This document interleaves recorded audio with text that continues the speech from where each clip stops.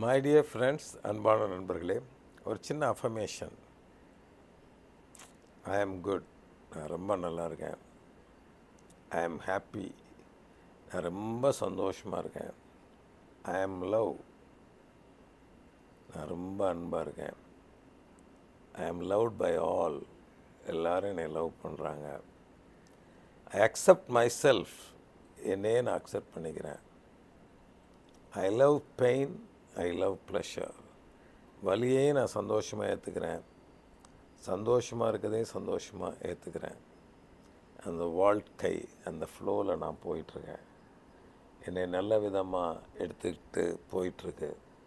நான் எதை பண்ணணுமோ அதை பண்ணுறேன் தேவையில்லாத எண்ண ஓட்டங்கள் மூலமாக எதையாவது நான் சாதிக்க போகிறேன் அப்படின்னா இல்லை. அதன் மூலமாக மன நிம்மதி தான் கெட்டு போகும்.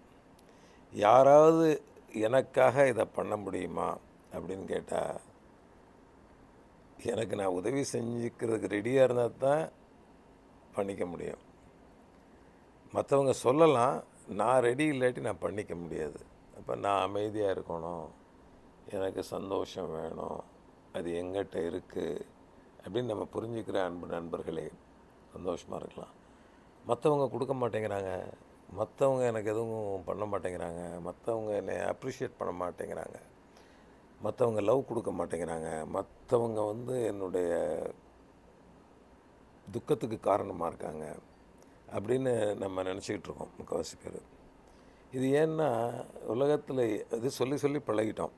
கவர்மெண்ட் சரியில்லை சிஸ்டம் சரியில்லை ஒய்ஃப் சரியில்லை பிள்ளை சரியில்லை எக்கனாமி சரியில்லை இந்தியா சரியில்லை இப்படி எதை பார்த்தாலும் கையை நீட்டி நீட்டி நீட்டி நீட்டி பழகிட்டோம்.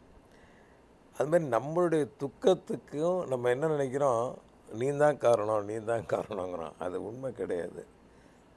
எல்லாத்துக்கும் நம்ம தான் காரணம். மற்றவங்க வந்து ஒரு அளவு தான். நம்ம எதை வேணாலும் எப்போ வேணாலும் குவிட் பண்ணலாம். நம்ம இந்த உலகத்தை விட்டு போகலாம். உலகத்தில் சந்தோஷமாக இருக்கலாம். என்ன வேணாலும் நம்ம பண்ணலாம். ஒரு நம்மளே நினச்சிக்கிட்டு இருக்கோம். நம்மளை ஏதோ கட்டுப்பட்டியாக வச்சுருக்குன்னு நம்ம நினச்சிக்கிட்டு இருக்கோம். அப்படி இல்லை நண்பர்களே. அந்த நம்மகிட்ட இருக்குது இந்த அம அந்த அஃபர்மேஷனை நீங்கள் ட்ரை பண்ணுங்களேன். காலையில் எழுந்திரிச்சோன்னா ஜஸ்ட் ஒரு ஃபைவ் மினிட்ஸ் போதும். அஞ்சு நிமிஷம் போதும். ரொம்ப சந்தோஷமாக இருப்பீங்க. May God bless you